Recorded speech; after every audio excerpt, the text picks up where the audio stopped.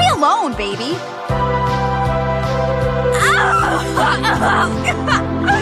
You're my baby. You're my baby, and I love you so much. Alright, guys, it's getting late. We should probably head back home. Oh, lame. we gotta save him! Splinter's instructions were very clear.